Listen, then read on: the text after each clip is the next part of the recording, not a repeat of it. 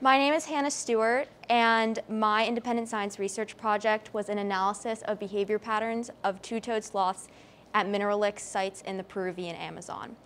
This study is an offshoot of a study that is being conducted by Dr. Brian Griffiths of George Mason University using data that from collected from photos that he took between August of 2018 and November of or March of 2019 um, camera trap photos that he took in the Peruvian Amazon at mineral lick sites. Um, these sites are very important because he found that there was a large number of photos of sloths at these sites, which was very unusual because sloths generally stay up in the canopy and they only come down to go to the bathroom and go to mineral licks. And so it's super unusual and rare to have photos of sloths and it was a great opportunity to explore the ecology of sloths and what these sites mean for sloths.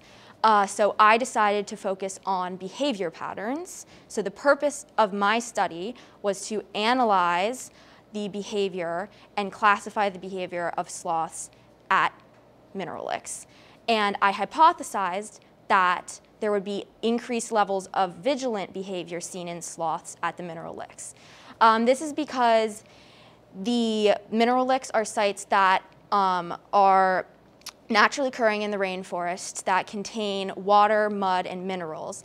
And lots of mammals, um, prey mammals, come to these sites in order to get extra nutrients um, and help with their digestion. So they're sites that are super active in uh, the ecology of the Amazon. They're really important to local human populations, all local animal populations. And they're really important sites that are predation risk sites, uh, meaning that the mammals that are going there are at higher risk for being attacked by a predator. Um, so this is why I wanted to focus on vigilance, because I wanted to see whether or not sloths that are at the lick are understanding that they're in a risky situation. Um, so the method for classifying behavior was looking at sets of photos um, and the photos, there was tens of thousands of photos and um, groups around America um, from different American high schools were helping to classify the photos that Dr. Griffiths collected and we were looking for several things. So first we were looking if there was a sloth. If there wasn't, we discarded the photo. And then if there was a sloth, we entered a few things into a data sheet. We entered the number of sloths, whether or not it was a baby or an adult, and then the number of those two things. And then we entered their behavior in a code of one, two, or three. So if you look at figure one, which is the three photos along the top, um, behavior one would be if the sloth was eating, so its head is down in the lick, and that's photo C. Behavior two is if the sloth is traveling, coming or going from the lick, and that's photo B.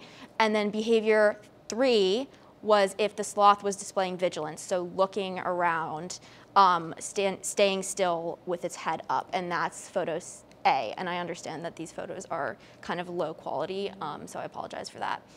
Um, and once all of the photos were entered, uh, I helped collate the data and then Dr. Griffiths and a graduate student filled in some gaps in the timeline.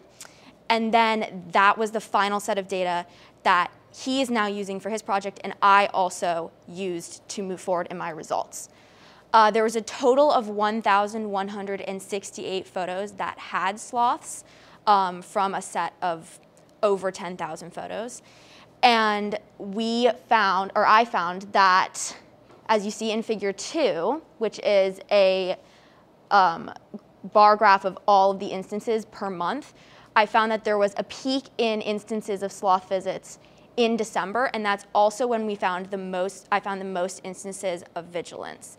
So out of the 1,168 photos, 79 were photos of sloths displaying vigilance, and 22% of those 79 were in December.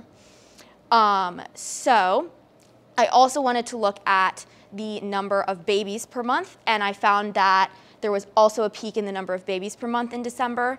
56% um, of the babies that were seen were seen in December. Um, and then finally, I made an activity graph, which you see is figure four. And that is basically an, a graph of the behaviors seen and the number of visits seen per hour um, throughout all of the photos. And so as you can see, there was a peak between hours 21 and 23 in the day. So that's kind of the middle of the night. Um, and each line is one behavior.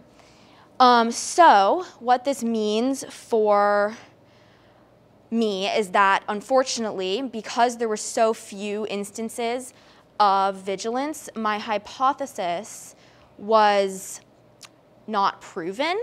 However, the patterns that we I did find in my results are super helpful moving forward.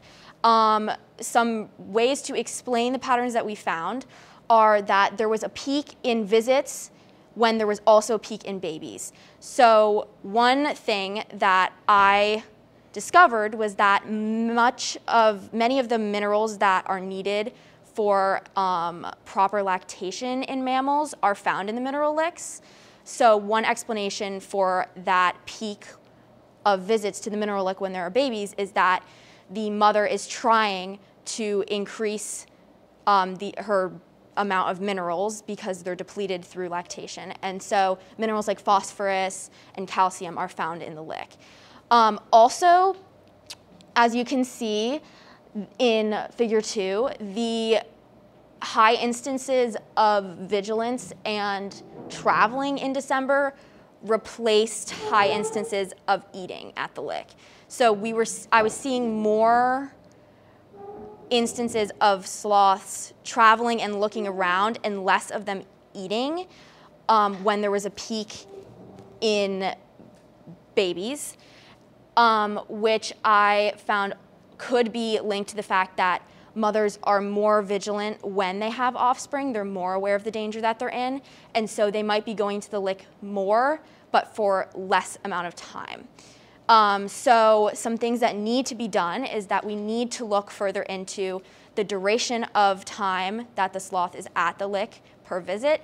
We also need to look further into the mating patterns and birthing patterns and gestation periods of sloths. Um, this is very um, exciting findings, but unfortunately, because there's such li little information on sloths out there in the scientific world, it's very difficult to understand exactly why these might be. However, they're a really great these patterns are a really great starting point for what needs to be studied moving forward. Also, um, this helps to prove the importance of mineral licks as areas for scientific research and exploration and also as areas that need to be conserved in order to upkeep the health of the Amazon and the mammals that live there and even the human populations that live in the Amazon. Um, so it's definitely necessary to understand these things in order to get a more holistic grasp of the ecology of sloths, the ecology of the Amazon, and the importance of mineral licks. Thank you for listening.